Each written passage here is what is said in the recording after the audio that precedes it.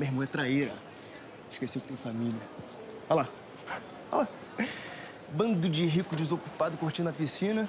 E eu que sou irmão, carregando toalha suja pra ganhar merreca. Olha. Eu quero mais é a merreca. Com ela eu ainda como. Melhor do que na rua, que não tá mole pra ninguém. Ganhou isso aí de quem, ô operário padrão? Quem dera. O hóspede esqueceu no saguão. Ele mandou buscar. Ele tá aí na piscina. Vai lá, vai. Vai lá, valeu. Valeu, operário.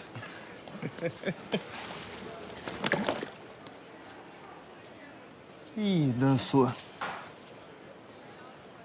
Assistente do Fred. Melhor que na rua.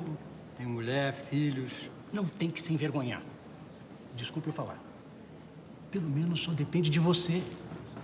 A gente está torcendo é pro Daniel quebrar o nosso galho.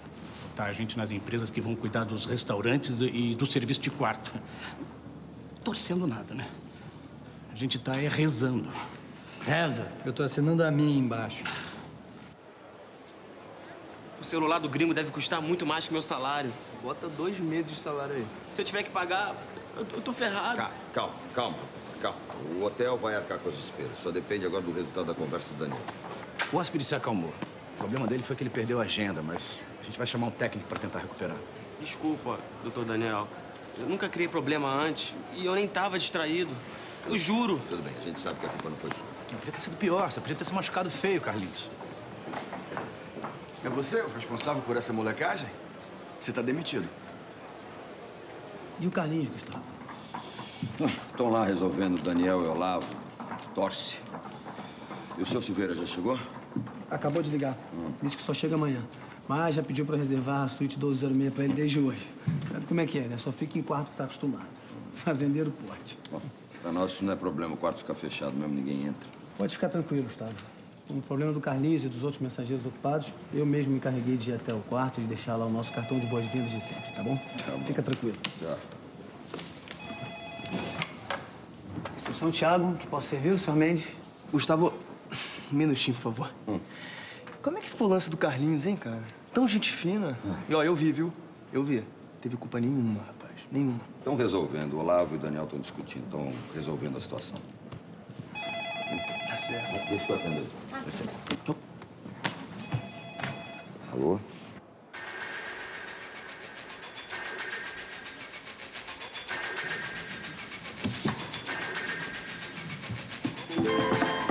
Mas é claro que tem que dar uma chance. Pessoa, você. O que que você pensa da vida? Que ninguém erra. Você. Nunca errou? Claro que eu já errei. E eu sempre paguei pelos meus erros, normal. Errou, tem que pagar, Daniel. Eu, você, todo mundo, o boy errou. Rua. Sim, mas o que aconteceu foi um acidente. O rapaz tropeçou. Sempre foi um ótimo funcionário, nunca teve nenhuma falha. E na primeira, que nem foi tão grave. Agora, qual é o clima que você acha que vai ficar? O que você acha que os funcionários vão pensar? Clima? Não sei. Qual o clima? Pergunta isso pro cara que perdeu o celular. O hóspede. Como assim não foi uma falha, Daniel? Foi uma falha gravíssima. Tem que ser demitido.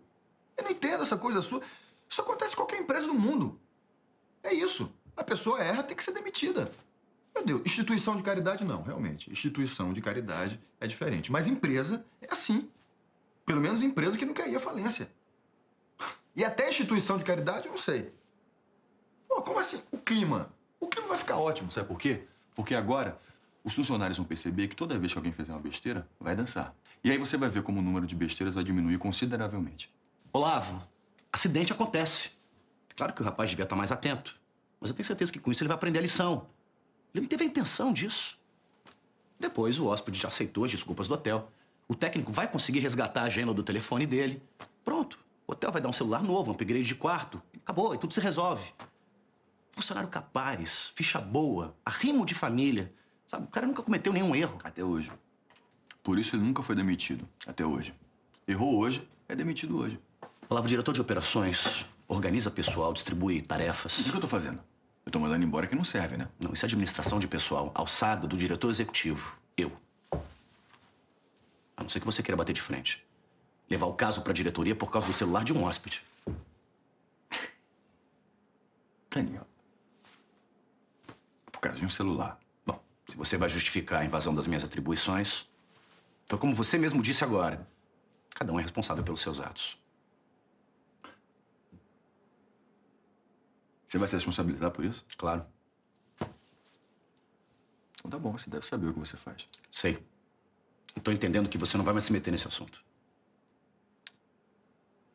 Por enquanto. Tá ótimo. Era isso que eu queria resolver.